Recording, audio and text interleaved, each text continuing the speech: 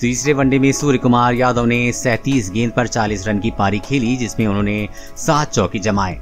सूर्य कुमार यादव ने संभल कर बल्लेबाजी की, जिसके कारण ही टीम इंडिया का स्कोर 200 के करीब पहुँच पाया। वैसे सूर्य कुमार यादव के अलावा संजू सैमसन ने 46 गेंद पर 46 रन की पारी खेली। पृथ्वी शॉ ने उनचास रन बनाए। इन तीन बल्लेबाजों के अलावा कोई दूसरा बल्लेबाज बड़ा स्कोर बनाने में असमर्थ रहा।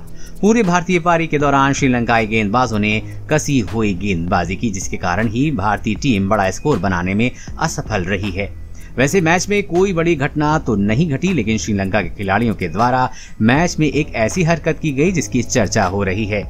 दरअसल भारतीय पारी के तेईसवें ओवर में प्रवीण जय विक्रमा की एक गेंद को स्विप शॉट मारने के चक्कर में सूर्य कुमार यादव चकमा खा गए और गेंद उनके पैर पर जा लगी। इसके बाद गेंदबाज ने एलबीडब्ल्यू की अपील की, जिसे अंपायर कुमार धर्मसेना ने मान लिया और आउट करार दे दिया। इसके बाद सूर्य कुमार ने थर्ड अंपायर के पास जाने का फैसला लिया।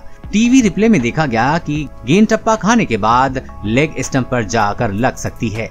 ऐसा देखते ही श्रीलंका के खिलाड़ी खुशी से जश्न मनाने लग जाते हैं, लेकिन उनकी खुशी उस समय खो जाती है जब थर्ड अंपायर बल्लेबाज को नॉट आउट देने का फैसला कर जाता है।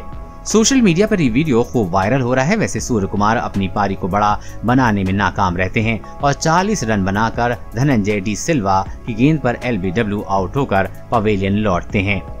देश और दुनिया की हर अपडेट पाने के लिए चैनल को सब्सक्राइब करें।